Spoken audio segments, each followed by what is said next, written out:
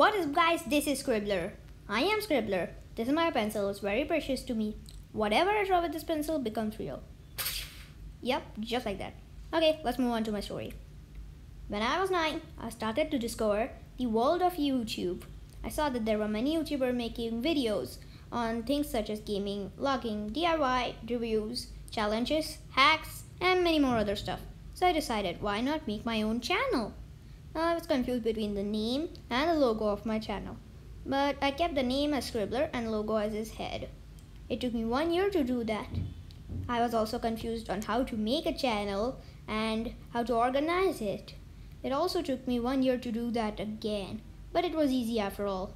My channel includes the same things such as gaming vlogs, hacks, how to draw, DIY challenges, and many more other stuff. Be sure to like and subscribe to this channel. Uh, hope you enjoy this animation.